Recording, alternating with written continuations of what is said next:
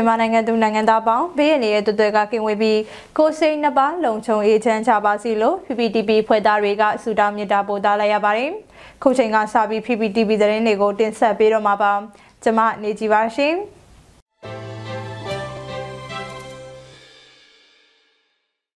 ဒီကနေ့ဖေဖော်ဝါရီလ15ရက်နေ့ကြာလာရင်းနေ့အတွက်တင်ဆက်ပေးခြင်းတဲ့သတင်းကောင်းစင်တွေကတော့ကြာကာလတရားစီရင်ဆိုင်ရာဦးစီးဌာနနဲ့မြေပြင်တရားသူကြီးများတွေ့ဆုံဆွေးနွေးတဲ့သတင်း အကြမ်းဖက်စစ်ကောင်စီတပ်ဖက်ဝင်တွေတရက်ထဲမှာ88ဦးသေဆုံးပြီး73ဦးဒဏ်ရာရခဲ့တဲ့တဲ့တင်ရခိုင်နဲ့ပလောဝတိုက်ပွဲအတွင်းအကြမ်းဖက်စစ်တပ်ရဲ့ဗိုလ်မှူးချုပ်စုံမင်းထွန်းနဲ့ဗျူဟာမှုကိုအရှင်ဖမ်းမိခဲ့ပြီးတမမှုနဲ့ဗျူဟာ2ဦးကိုအသေးဖမ်းမိကတအုပ်ပျောက်ဆုံးနေတယ်လို့ရဟိုင်တတော်ကထုတ်ပြန်လိုက်တဲ့တဲ့နွေဦးတော်လိုင်းကာလအတွင်းကြာဆုံးခဲ့ရသူပေါင်း4525ဦးထိရှိနေခဲ့ပြီလို့ AAPP ထုတ်ပြန်လိုက်တဲ့သတင်းနဲ့ဒီနေ့အတွက်မြန်မာနိုင်ငံတဝန်းကလူမျိုးပေါင်းစုံဘာသာပေါင်းစုံပါဝင်တဲ့ဆီယနာရှင်တော်လိုင်းဆန္ဒပြလူထုတပိတ်သတင်းတွေပဲဖြစ်ပါတယ်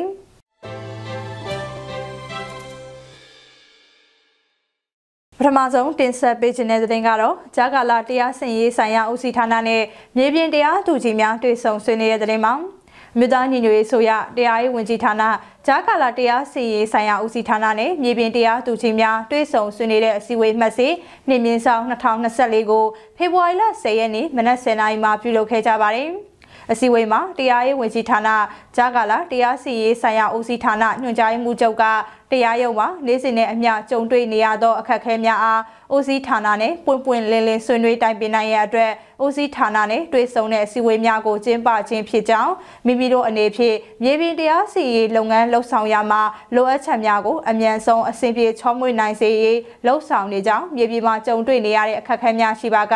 အခက်အခဲတစ်ခုချင်းစီလိုက်တင်ပြရန်ဖြစ်ကြောင်းအကျဉ်းသားများနဲ့ပတ်သက်ပြီးတော့လည်းလိုအပ်ချက်များကိုအကျဉ်းဦးစီးဌာနနဲ့ညှိနှိုင်းဆောင်ရွက်လုပ်ကိုင်လျက်ရှိပါကြောင်းမြေပြင်ရုံးများရဲ့အခက်အခဲများနဲ့ပတ်သက်တဲ့ပေါင်းဆက်ညီနိုင်ရဲ့ဂျာကာလာတရားစီရင်ဆိုင်ရာဗဟိုကော်မတီမှတင်ပြခဲ့ကြောင်းလက်ရှိမှာမြို့နယ်အလိုက်ပေါင်းဆက်ညီနိုင်ရဲ့ကော်မတီများဖွဲ့နိုင်ရန်ဆွေးနွေးထားကြောင်းတရားစီရင်နဲ့ပတ်သက်ပြီးလဲ၎င်းစီမံခန့်ခွဲရေးနဲ့လည်းပတ်သက်ပြီး၎င်းအခက်အခဲများရှိပါကပွင့်ပွင့်လင်းလင်းမေးမြန်းဆွေးနွေးတိုင်ပင်ရန်ဖြစ်ကြောင်းပြောကြားခဲ့ပါတယ်။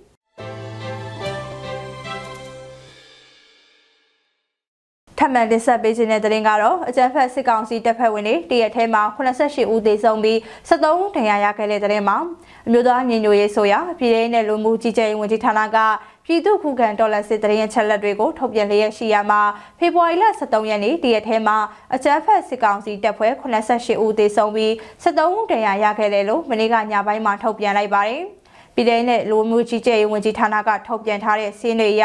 တပရင်းမြို့နယ်မှာအကြမ်းဖက်စစ်ကောင်စီတပ်တွေကို PDF တွေက drone နဲ့ပုံချတာမင်းကင်းမြို့နယ်မှာအကြမ်းဖက်စစ်ကောင်စီတပ်စခန်းကို PDF တွေကတိုက်ခိုက်သိမ်းပိုက်တာမြင်းမူမြို့နယ်မှာအကြမ်းဖက်စစ်ကောင်စီတပ်တွေကို PDF တွေကတိုက်ခိုက်တာမြိုင်မြို့နယ်အတွင်းမှာအကြမ်းဖက်စစ်ကောင်စီတပ်တွေကို PDF တွေကတိုက်ခိုက်ခဲ့တာတွေပြုလုပ်ခဲ့တယ်လို့ဖော်ပြထားပါတယ်။ ဒါအပြင်ရှားတော်မြို့နယ်မှာအကြမ်းဖက်စစ်တပ်ရဲ့စခန်းတွေကို PDF တွေကတိုက်ခိုက်သိမ်းပိုက်တာကော့ဂရိတ်မြို့နယ်မှာအကြမ်းဖက်စစ်တပ်နဲ့ KNL ပူးပေါင်းတပ်တွေတိုက်ပွဲဖြစ်ပွားတာနဲ့စီဆိုင်မြို့နယ်မှာအကြမ်းဖက်စစ်ကောင်စီလက်အောက်ခံ PNL နဲ့ PNL တို့အကြားတိုက်ပွဲတွေကဖေဖော်ဝါရီလ23ရက်နေ့မှာဖြစ်ပွားခဲ့တယ်လို့ဖော်ပြထားပါတယ်။ပြည်ထောင်နဲ့လူမှုကြီးကြပ်ရေးဝန်ကြီးဌာနကတော့အာဏာသိမ်းအကြမ်းဖက်စေအုပ်စုရဲ့ပြည်သူလူထုအပေါ်အကြမ်းဖက်ဖိနှိပ်ဖန်ဆီးတိုက်ခိုက်တပ်ဖြတ်နေမှုများကိုပြည်သူလူထုတရက်လုံးကအသက်ရှင်ရေးအတွက်မိမိကိုယ်ကိုမိမိခုခံကာကွယ်ပိုင်ခွင့်အရာပြည်သူလူထုခုခံစစ် People Defense Squad ကိုဆင်နွှဲလျက်ရှိတယ်လို့အသိပေးထားပါတယ်။ဒါအပြင်အခုထုတ်ပြန်ထားတဲ့အကြမ်းဖက်စစ်တပ်ရဲ့တေဆုံးဒဏ်ရာရစရင်က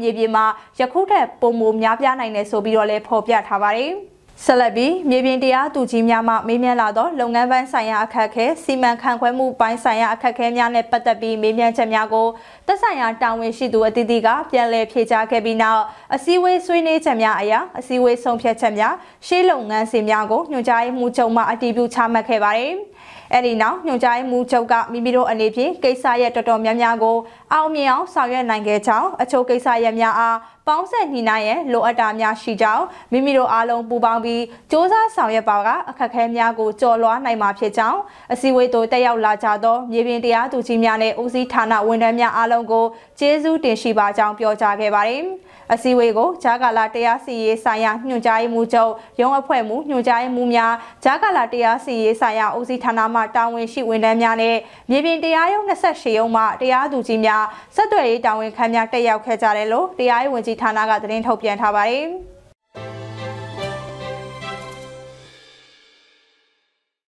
ဆက်လက်တင်ဆက်ပေးခြင်းတဲ့တင်ကတော့ရခိုင်နဲ့ပလောဝတိုက်ပွဲအတွင်းအကြက်ဖက်စစ်တပ်ရဲ့ဗိုလ်မှူးချုပ်ဇော်မင်းထွန်းနဲ့ဗျူဟာမှုကိုအရှင်ဖမ်းမိခဲ့ပြီးတော့တက်မမှုနဲ့ဗျူဟာမှုနှစ်ဦးကိုအသေးဖမ်းမိကတအူးပျောက်ဆုံးနေတယ်လို့ရခိုင်တပ်တော်ကထုတ်ပြန်လိုက်တဲ့တင်မှာရခိုင်နဲ့ပလောဝတိုက်ပွဲအတွင်းအကြက်ဖက်စစ်တပ်ရဲ့ဗိုလ်မှူးချုပ်ဇော်မင်းထွန်းနဲ့ဗျူဟာမှုကိုအရှင်ဖမ်းမိခဲ့ပြီးတော့တက်မမှုနဲ့ဗျူဟာမှုနှစ်ဦးကိုအသေးဖမ်းမိကတအူးပျောက်ဆုံးနေတယ်လို့ရခိုင်တပ်တော် AA ကမနေ့ကညပိုင်းမှာအသိပေးထုတ်ပြန်လိုက်ပါတယ်။ ဖေဖော်ဝါရီလ9ရက်နေ့နဲ့10ရက်နေ့တွေကကြောက်တော်မြို့နယ်အပေါဝရွာအနီးရေချောင်းတိုက်ပွဲအတွင်းမှာအသက်လူထွက်ပြေးလာတဲ့အကြမ်းဖက်စစ်တပ်လက်အောက်ခံစကကခိုးတက်မှမှုဗိုလ်မှူးချုပ်ဇော်မင်းထွန်းအသက်52နှစ်ကို၎င်းတို့ရဲ့တပ်ဖွဲ့ဝင်အချုံနဲ့အတူရခိုင်တပ်တော်ကအရှင်လက်ရဖမ်းဆီးမိခဲ့တာပါ။ဒါအပြင်အကြမ်းဖက်စစ်တပ်ရဲ့ကြောက်တော်စကကကိုလက်အောက်ခံနီးပြူဟာ3ပြူဟာမှုဖြစ်တဲ့ဒုဗိုလ်မှူးကြီးညီညီဝင်းကိုကိုတော့ ပြီးခဲ့တဲ့ဇန်နဝါရီလ16ရက်နေ့ကအရှင်ဖန်စီရရှိခဲ့ပြီးရခိုင်တပ်တော်ကစေဝါကူတာပေးခဲ့တယ်လို့ဆိုပါတယ်။အဆိုပါအကြမ်းဖက်ဒုဗိုလ်မှူးကြီးညီညီဝင်းကိုကိုဖန်စီရမိချိန်မှာအိုကောင်းနဲ့ရှင်ဘတ်မှဒဏ်ရာရရှိပြီးတေလူမျိုးပါဖြစ်နေရကြောင်းရခိုင်တပ်တော်ကစေဝါကူတာမှုပေးပြီးကောင်းမွန်စွာပြုစုစောက်ရှောက်ထားပေးလို့အသက်ဘေးမှကင်းလွတ်ခွင့်ရကပြန်လည်ကျန်းမာနေပြီဖြစ်တယ်လို့ဖော်ပြထားပါတယ်။ ရခိုင်တပ်တော်ကဖေဖော်ဝါရီလ9ရက်နေ့ကအကြမ်းဖက်စစ်တပ်ရဲ့မြောက်ဦးခမာယ3ခုခုကိုတိုက်ခိုက်သိမ်းပိုက်စဉ်အတွင်းမှာလေတမ17တမမှုဗိုလ်မှူးကြီးမင်းမင်းထွန်းကိုကိုကိုလည်းကဲဆယ်ချိန်မရလိုက်လို့အသေးဖမ်းဆီးရမိခဲ့တယ်လို့ဆိုပါတယ်ဒါအပြင်ပလောဝမြို့နယ်အတွင်းမှာလည်းရခိုင်တပ်တော်ရဲ့ပြူဟာမြောက်ထိုးစစ်တွေကြောင့်အကြမ်းဖက်စစ်ကောင်စီရဲ့နှုံမှုပြူဟာမှုဒုဗိုလ်မှူးကြီးပညာပိုင်စုံကိုဒီဇင်ဘာလဒုတိယအပတ်တိုက်ပွဲကာလမှာတလက်ထံရတွေနဲ့အသေးဖမ်းဆီးရမိခဲ့တယ်လို့လည်းအသိပေးထားပါတယ်။ ဆက်လက်ပြီးပလောဝမြို့နယ်အခြေဆိုင်အခြားရှေတန်းဌာနချုပ်တစ်ခုဖြစ်တဲ့စကားစတစ်ကိုရှေတန်းဌာနချုပ်တက်မှမှုဗိုလ်မှူးချုပ်ဇင်မျိုးဆွေကတော့ပျောက်ဆုံးနေတယ်လို့အခြေအနေကိုလည်းအတီးပြုတ်မရနိုင်သေးဘူးလို့လည်း AA ကဖော်ပြထားပါတယ်အလားတူအခြားစစ်တုံးပန်းတွေစစ်ဘက်ရဲဘက်နဲ့၎င်းတို့ရဲ့မိသားစုဝင်တွေတဲကပြင်းထန်စွာဒဏ်ရာရရှိသူတွေရဲ့အသက်နဲ့ခန္ဓာကိုယ်လည်းရခိုင်တပ်တော်ရဲ့ဆေးဘက်ဆိုင်ရာတပ်ဖွဲ့ဝင်တွေက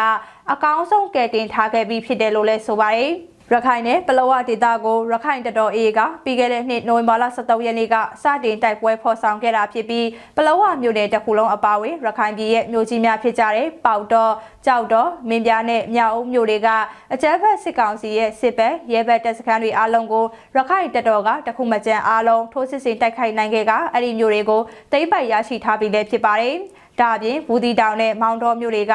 နေချားဆောင်တက်စခန်းပေါင်းမြောင်များနဲ့ရန်ဘဲမြို့တွေအခြားမြို့အချို့ကရဲစခန်းအချို့ကိုလည်းတိမ့်ပိတ်ထားပြီးဖြစ်တဲ့ဆိုတာနဲ့လက်နက်ချအညံ့မခံတဲ့ရန်သူစခန်းတွေကိုရခိုင်တပ်တော်ကဆက်လက်ထိုးစစ်ဆင်တိုက်ခိုက်နေတယ်လို့အသိပေးဖော်ပြထားပါတယ်။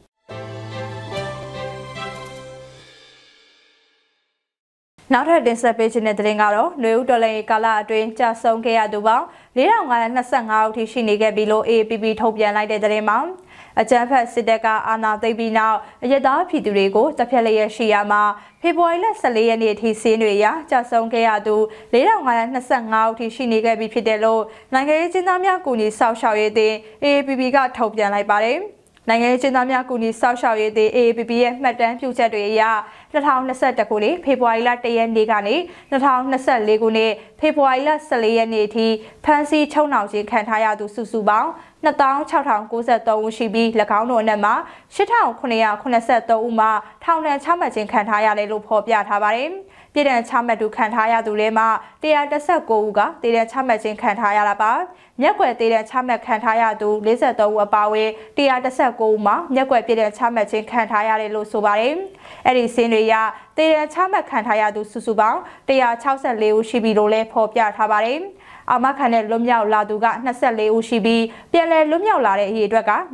9988ဦးရှိတယ်ဆိုပါတယ်။ဖော်ပြပါကိန်းကနဲ့အရေးအတွက်တွေက AAPP မှကောက်ယူထားတဲ့အရေးအတွက်ဖြစ်ပြီးမြေပြင်မှာဖြစ်ပွားနေတဲ့ချက်လက်နဲ့ကိန်းကနဲ့အရေးအတွက်တွေကယခုထက်ပိုမိုများပြားနိုင်တယ်လို့ဖော်ပြထားပြီးအချက်လက်တွေထပ်မံကောက်ယူရရှိလာပါကဆက်လက်ထဲသွင်းဖော်ပြသွားမယ်လို့ဆိုပါတယ် အရက်ဖက်ဖွဲ့စည်းရဲ့ခေါင်းဆောင်တွေအရက်သားတွေတက်ကြွလှုပ်ရှားသူတွေသတင်းသမားတွေစီဒီအန်လှုပ်ရှားနေတဲ့ဝန်ထမ်းတွေစတဲ့နယ်ပယ်တီတီကမြေသူမဆိုးဖန်စီထိန်သိမ်းတရားစွဲဆိုခြင်းခံထားရတာတွေနဲ့လူဦးတော်လည်းရေးအတွေ့ကြာဆုံးခဲ့ရသူတွေရဲ့အချက်လက်တွေကိုသိရှိပါကနိုင်ငံရေးချင်းသားများကူညီစောက်ရှောက်ရေးသည် AAPP ကိုလည်းဆက်သွယ်ဖို့ဖော်ပြထားပါတယ်။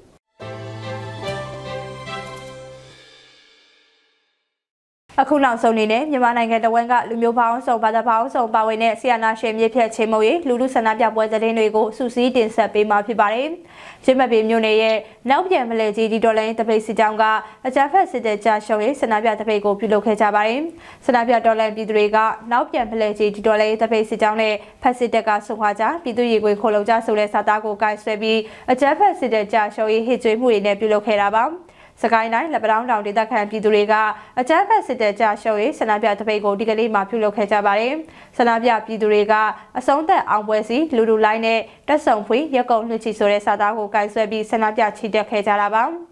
ရမပင်မြို့နယ်မှာအောင်လန်လွတ်မီထောင်းသွင်းသပိတ်စစ်ကြောင်းကအကြမ်းဖက်စစ်တပ်ကြားရှုံးရေးဆန္ဒပြတပိတ်ကိုဒီကနေ့မှပြုလုပ်ခဲ့ကြပါတယ်။ဆန္ဒပြဒေါ်လန်ပြည်သူတွေကအောင်လန်လွတ်မီထောင်းသွင်းသပိတ်စစ်ကြောင်းဆိုတဲ့စာသားကိုကန်ဆွဲပြီးအကြမ်းဖက်စစ်တပ်ကြားရှုံးရေးဟစ်ကြွေးမှုတွေနဲ့ပြုလုပ်ခဲ့ကြတာပါ။ဒေသခံဒေါ်လန်ပြည်သူတွေကနေမြေမငြိမ်သက်မှုတွေကြားတဲ့ကပြီးအကြမ်းဖက်စစ်တပ်ကြားရှုံးရေးဆန္ဒပြတပိတ်ကိုနေ့စဉ်ပြုလုပ်နေကြတာပါ။